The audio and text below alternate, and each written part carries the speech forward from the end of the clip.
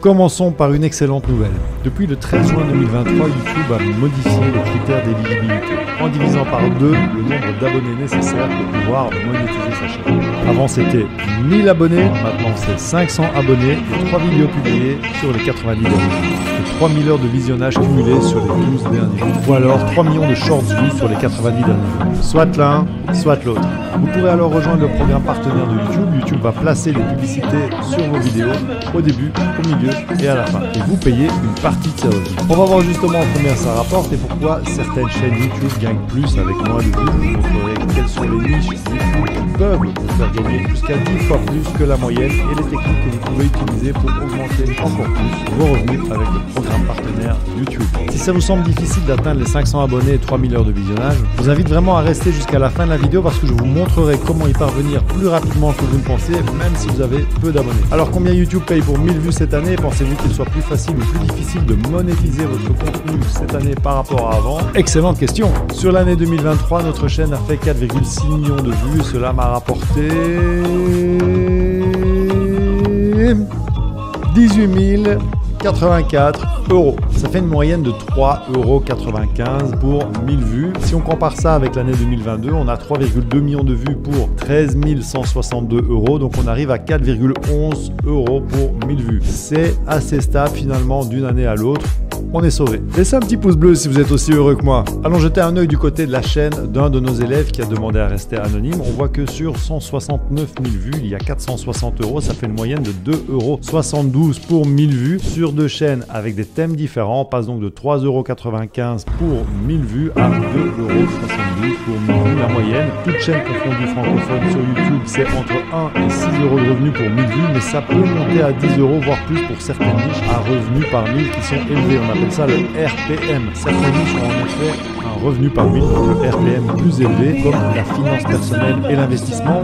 Vidéo couvrant des sujets tels que l'investissement en bourse, la crypto-monnaie, l'épargne, les prêts, les cartes de crédit et la planification financière attirent souvent des annonceurs à haut budget en raison de la capacité de dépense de l'audience. Il y a aussi la technologie et gadgets, les revues de produits high-tech, les tutoriels, les discussions sur les dernières innovations attirent une audience prête à dépenser pour les derniers gadgets, ce qui est attrayant pour les annonceurs dans le domaine de la technologie, entrepreneuriat et business, les conseils sur le démarrage, la gestion d'entreprise, le marketing digital, le développement personnel dans un contexte professionnel attire un public intéressé par l'amélioration de ses compétences et par les opportunités d'affaires. Santé et fitness, les programmes d'entraînement, les conseils nutritionnels, les revues de compléments alimentaires attirent une audience engagée et intéressée par les produits de santé et de bien-être. Éducation et tutoriels, les contenus éducatifs comme les leçons de langue étrangère, les tutoriels de programmation, les cours de préparation aux examens attirent des spectateurs qui sont vraiment dédiés à l'apprentissage et au développement de compétences. Marché cible pour de nombreux annonceurs éducatifs. Luxe et style de vie haut de gamme, les vidéos qui explorent le monde du luxe, comme les voitures haut de gamme, l'immobilier de luxe, les montres, les voyages dans des destinations exotiques, attirent des annonceurs cherchant à cibler un marché à fort pouvoir d'achat. Les niches YouTube avec un RPM, donc un revenu par 1000 vues plus faible, sont généralement celles où les annonceurs sont moins enclins à dépenser beaucoup d'argent pour de la publicité. Je vous donne quelques exemples de ces niches. Le contenu généraliste ou de divertissement donc les chaînes qui proposent du contenu de divertissement en général, comme les vlogs quotidiens, les blagues, les vidéos de réaction. Ça peut attirer un, public très large, mais pas nécessairement un public cible spécifique pour les annonceurs, ce qui peut entraîner un RPM plus bas. Jeux vidéo et streaming en direct, malgré la popularité massive de cette niche, le marché saturé et la diversité des contenus font que le RPM peut être relativement bas. La monétisation peut également être affectée par les droits d'auteur et les restrictions de contenu. Contenu pour enfants, bien que très populaire, le contenu destiné aux enfants fait face à des restrictions surtout après les mises à jour des réglementations sur la vie privée des enfants sur Internet. Ça limite les types et la quantité de publicité qui pourrait être affichée et donc ça réduit le RPM. Contenu controversé ou sensible,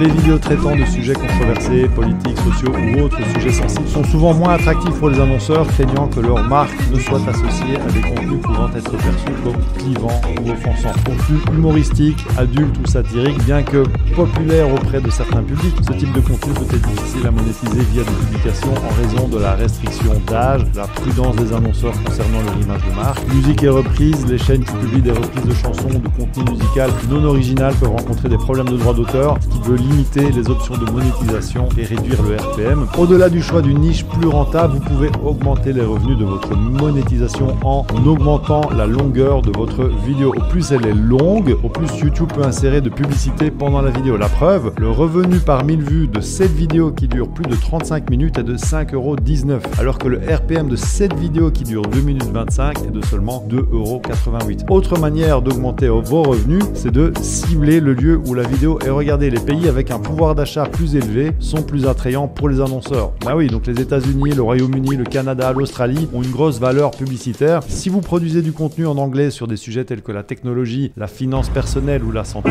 votre monétisation pourra monter jusqu'à 30 euros pour 1000 vues. Les pays francophones, souvent considérés comme plus rentables, sont la France, le Canada, la Belgique, la Suisse, le Luxembourg. Alors c'est pas évident, hein, mais vous pouvez essayer de les cibler en couvrant des événements régionaux, en créant du contenu qui résonne avec les défis et opportunités uniques de ces communautés. 50% de mes vues sont faites en, France, alors que je suis belge. Ça coûte 12 euros pour 1000 vues aux annonceurs qui veulent faire de la pub sur mes vidéos. D'ailleurs, donc on appelle ça le CPM, c'est le coût par 1000. Donc le prix que les annonceurs sont prêts à payer pour apparaître sur vos vidéos. C'est ce que vos vidéos valent sur le marché de la publicité. Un petit peu cruel. Le type d'annonceur qui cible vos vidéos aura aussi de l'influence. Donc ceux qui vendent des montres de luxe pourront mettre plus de budget que ceux qui vendent du dentifrice. Si vous choisissez une niche à valeur élevée comme celle qu'on a vu plus haut, ça va attirer naturellement des annonceurs à budget élevé. Maintenant, pour attirer ce genre d'annonceurs, il faut vraiment que votre image de marque soit premium avec un contenu de qualité supérieure. Autre manière de augmenter vos revenus, l'âge des spectateurs. En fait, les personnes plus âgées ont un job et elles ont tendance à cliquer sur des annonces et à acheter des trucs. D'ailleurs, je crois que nos miniatures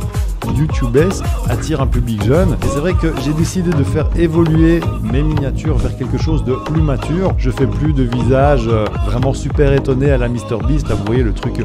Ah, comme ça, euh, bon, j'ai eu ma période où je faisais ça, mais euh, j'ai vraiment voulu faire évoluer. Je fais aussi moins de blagues dans mes vidéos, j'essaie d'être plus posé, d'être moins gesticulant, et c'est vrai que c'est plus adapté à un public plus mature. Je partage aussi des anecdotes de ma vie de papa avec mes deux garçons, Ruben et Léo, ma vie en couple depuis 15 ans avec Sophie Vinclair, mes activités au golf, etc. Enfin, des trucs de vieux, quoi. Et malgré ça, chez Stratégie Vidéo, la majorité sont des spectateurs qui sont des petits jeunes de 18 à 24 ans. Alors j'ai été jeune aussi, en plus j'étais musicien, donc autant vous dire que j'avais pas un rond à dépenser. Et aujourd'hui, en tant que chef d'entreprise avec plus de 10 personnes dans mon équipe, eh bien je dois attirer des profils qui vont dépenser de l'argent chez nous. Dernier paramètre à prendre en compte, il se peut que la vue soit comptée, mais que le spectateur ait interrompu son visionnage avant que la pub c'est pour cela que YouTube donne toujours une indication du nombre de lectures monétisées estimées. En tout cas, en choisissant une niche qui rapporte et en appliquant les différentes techniques que je viens d'évoquer, vous pourriez aller chercher 10 euros de revenus par mille, peut-être plus si votre chaîne est en anglais. Y a-t-il une stratégie qui vous parle plus qu'une autre ou peut-être une surprise que vous n'attendiez pas Partagez vos retours et vos questions dans les commentaires. Ci-dessous, chaque commentaire est une opportunité d'apprendre ensemble, de construire une communauté plus forte. J'ai hâte de lire vos réponses et d'engager la conversation. Qui sait, vos insights pourraient inspirer notre prochaine idée de vidéo. Alors c'est très bien, mais connaissez-vous les stratégies secrètes que les youtubeurs utilisent pour multiplier leurs revenus, même avec peu de vues? Je vais vous expliquer comment faire pour gagner plus de 100 euros pour 1000 vues. Vous avez bien entendu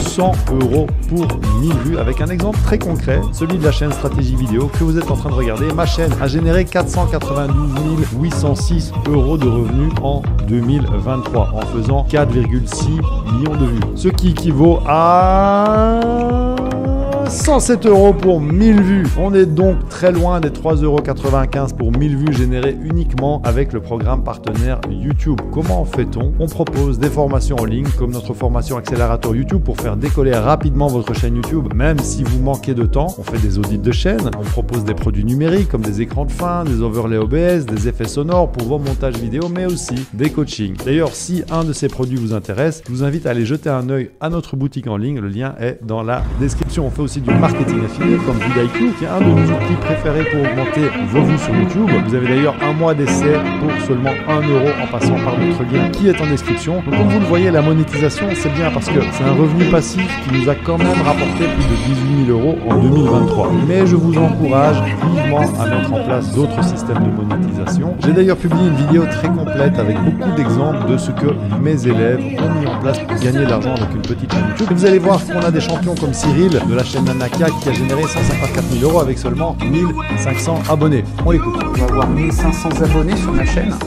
On a regardé tout à l'heure, le chiffre d'affaires sur les 12 derniers mois, c'est 154 000 euros. Il y a aussi notre élève Elise qui a fait 1,3 million d'euros avec seulement 5000 abonnés. Si, si, si, écoutez-la. La société, elle va terminer là, un chiffre d'affaires d'un million trois. Vous pourrez retrouver ces études de cas ici ou dans la description. Alors comment savoir combien gagnent les chaînes YouTube? Prenons par exemple une chaîne comme Les Trouvailles d'Ariane. Elle a été très sympa et elle m'a communiqué ces chiffres. Elle gagne environ 3 à 400 euros par mois avec la monétisation. Marcel et son camping-car gagnent environ 1000 euros par mois. Ça, ils me l'ont dit. Mais si vous voulez savoir combien une chaîne génère avec la monétisation, le calcul est assez simple. Vous regardez le nombre de vues par mois, vous divisez ça par 1000 et vous multipliez par le RPM, donc le fameux RPM revenu par 1000. Alors ça, malheureusement, vous allez devoir un peu le déterminer au pif en fonction de la niche de la chaîne. Si c'est une niche qui est dans les hauts revenus, qui a un haut RPM ou une niche qui a un faible RPM, je vous ai expliqué ça au début de la vidéo. Prenons par exemple la chaîne de Yomi Denzel. Avec VidIQ, je sais voir combien de vues il a fait sur les 30 derniers jours. D'ailleurs, si vous voulez